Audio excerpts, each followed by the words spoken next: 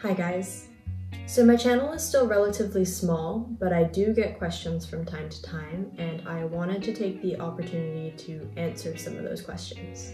If you don't know me, my name is Bella, and I make things here on YouTube and also over on Instagram. And because I managed to scrounge up enough questions to make a video about this, for today's video we are going to do a Q&A. So before I get into answering your guys' questions, I do want to say that I have taken on board the comments about my audio quality. I plan on going home to New Zealand for Christmas this year, and I'm going to retrieve a microphone I bought a little while back, but that I haven't had here with me in Denmark. So hopefully you guys can stick it out. Until then, I do apologize for the quality, and I am working on making my videos better in the future. Okay, I'm just gonna get my knitting ready, and then we can start. This is what I'm working on at the moment. I'm just going to work on this while I answer your questions. First question How do you get inspiration? Um, I follow a lot of people on Instagram and also over here on YouTube. So I do get a lot of my inspiration from what other people are doing. I have a couple of accounts that I really like. Um, I'll put some pictures up of them here, and I'll also link my Pinterest board in the description below. Another way that I like to get inspiration is by going window shopping with my husband and going to some really nice stores and looking around and seeing uh, what sort of things I like and what sort of things I don't like. And um, I'm very much the kind of person that if I see something in a store, I go, I can make that. And then I go home and then I think about making it. So inspiration is everywhere, but I would say my biggest sources of inspiration are trends and other artists. Question two do you like knitting or crochet more? So for me, it really depends on the project. I think for something with a denser fabric or something with a bit more personality, crochet is the way to go. But if I want something with a bit more drape, maybe something that's a bit more simple looking, I go for knit. So I think they both have their time and place, but if it came down to choosing between the two, I think I would choose crochet. What first got you into crochet slash knitting? I think what first got me into crochet was those TikTok compilations of people showing off things that they'd made.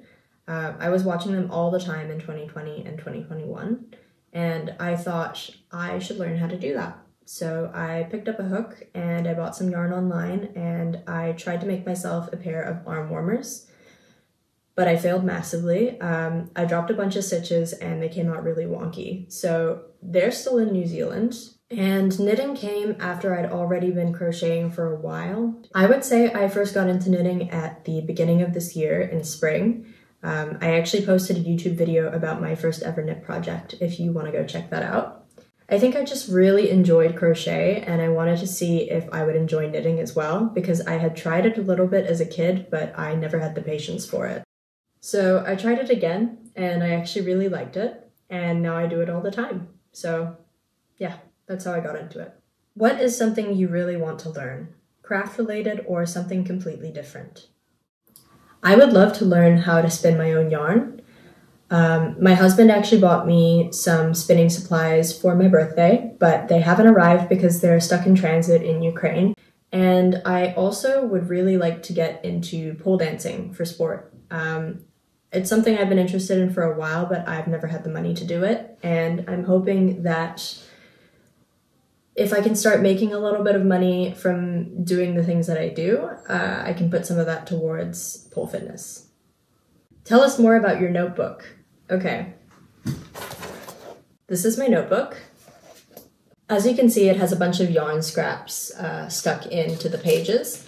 And um, I use a hole puncher just to make some little holes before looping the yarn through and then attaching it to the page.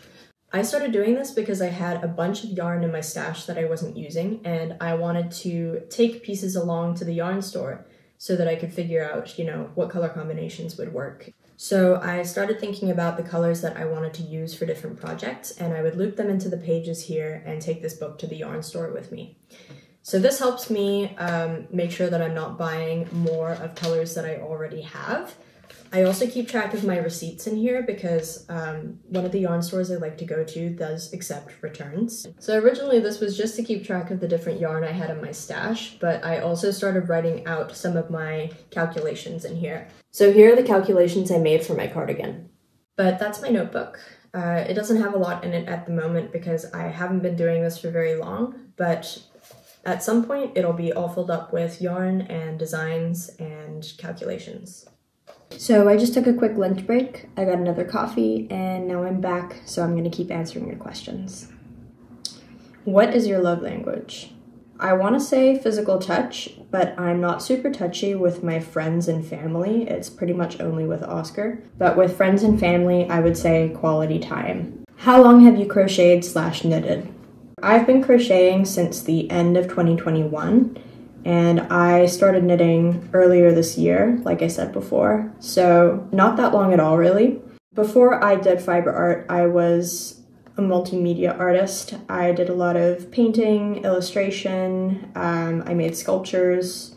I'll put some examples of my previous work here. But basically, ever since I figured out I liked fiber art, I've totally thrown myself into it. And I haven't been doing it for long at all, but I haven't gotten sick of it yet, so I think I'm just gonna keep going with it. How did you end up in Copenhagen? What's your favorite place you've lived? Pretty much the only reason I'm in Copenhagen is because of my husband Oscar. He's Danish, and I'm from New Zealand, but we met at school in Singapore. It wasn't until COVID that we started dating long distance. We reconnected through this old Facebook group that we had with some of our classmates. And um, we decided that I should come here, so I packed up a bag and I got on a plane, and now I live here. My favorite place I've ever lived, it would have to be between Singapore and Copenhagen. Um, I lived in Singapore for 13 years, and so far I've only lived in Copenhagen for two years, but I really like it here. What's the biggest difference between living in New Zealand versus Old Zealand, aka Denmark? I think the biggest difference is how cold it gets. It's minus six degrees Celsius today, um, which is not a temperature that we would ever reach in Auckland. And it's snowing, which also doesn't happen in Auckland. Um, but another really big difference is the public transport system. The public transportation in New Zealand, even in the big cities, is not super great. It's very often that the buses are late and that there's traffic jams and, yeah, all sorts of nonsense. But uh, Copenhagen is pretty good. The metro is really convenient and the buses are always on time. So, yeah. And the last question is How do I start learning to knit or crochet? I would say just get into it. Um, you know, don't give yourself a super hard project to start off with. Maybe just do like a, a washcloth or a scarf or something, something easy and rectangular. And don't use nice yarn for your first project. You can go to like a secondhand store or the craft store and just pick up something on sale. Um, and don't overthink it too much. Don't be afraid to make mistakes because it's not going to be perfect the first time around. And you can always go back and fix your mistakes, especially with crochet. So that's all for today's Q&A. Thank you guys so much for sending in your questions. I had a lot of fun answering them and I hope you had fun getting to know me a little better.